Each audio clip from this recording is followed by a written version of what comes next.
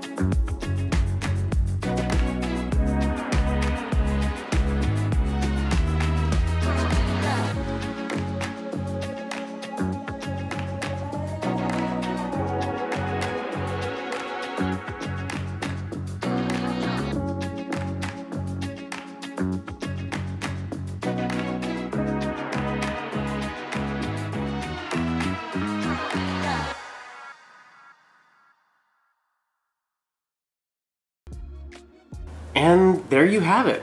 That's all it took to clean up the PPF. It was really just a bigger piece of hardware, but it was also much easier to clean because I could actually hold it up to that wire wheel, uh, unlike having to use the angle grinder with a wire wheel attachment like I did on all the other pieces. Plus, it's a lot lighter than the transmission and differential are, so it was so much easier to handle and clean up. Uh, on top of that, it was mostly just some road grime and a tiny amount of corrosion, so there wasn't a ton of work involved.